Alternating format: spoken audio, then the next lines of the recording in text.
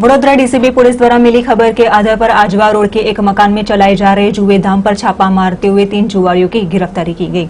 Vadodara DCB police द्वारा मिली खबर के आधार पर आजवा रोड पर के एक मकान में चलाए जा रहे जुए धाम पर छापा मारा गया, जहाँ पुलिस ने डभोई दसालाल वाड़ी के पीछे जय जलाराम नगर सोसाइटी में रहता प्रवीण उर्फ़ लाला राजपूत अपने मकान में जुआ धाम चला रहा है, वैसी खबर मिली थी, जिस आधार पर मकान में छापा मारते हुए तीन जुआरियों को रंगे हाथों पकड़ा गया। पुलिस ने स्थल से उन्नीस हज़ार का मुद्दामाल जब्त कर मुख्य संचालक प्रवीण राजपूत सहित तीन जुआरियों की गिरफ्तारी की थी।